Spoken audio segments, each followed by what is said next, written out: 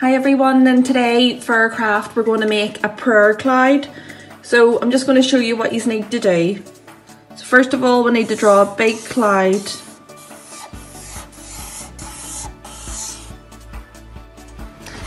And then we just need to cut it out. Okay so once you have your cloud all cut out we're just going to put our memory verse on this.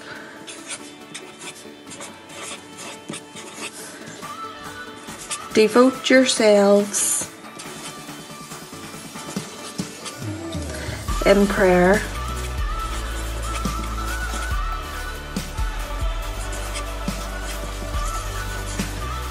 Being watchful.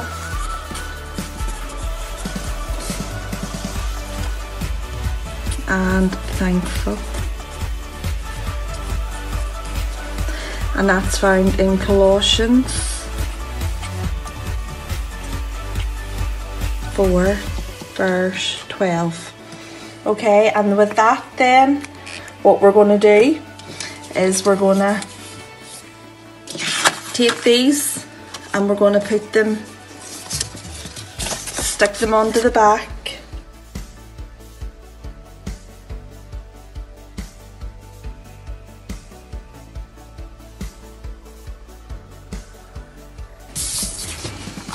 And then what we're going to do is we're going to put on the names of everyone that we're praying for, for your family.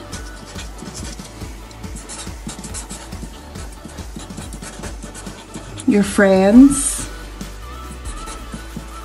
NHS workers, for healing,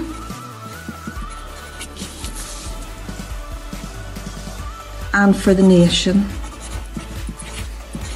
Now you can put on anything that you want to pray about on that yourself. And then lastly, we just need to attach this